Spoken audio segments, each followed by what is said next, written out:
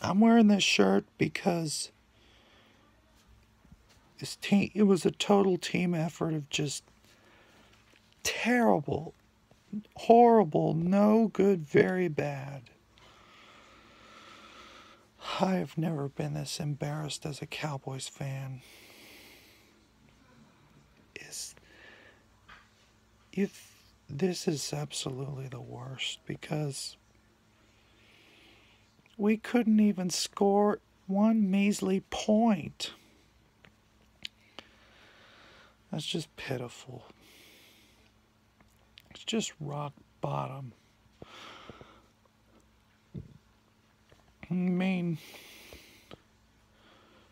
if we, I mean, if we clinch the, if the Redskins and Eagles lose, we'll clinch the division. But that's not saying much because, man, this division's just terrible, and so are the Cowboys. It's just a really bad team. A really, really bad play. This, this is one of the. It's just not a good team. I mean, we had Connor Williams in the in the lineup, and I wouldn't. I don't want Connor Williams playing. I don't want him on the team. I'd cut him.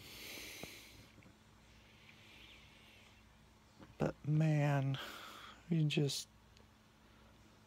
we just stall, just can't do nothing. It was just it was unbelievably embarrassing that we played this poorly.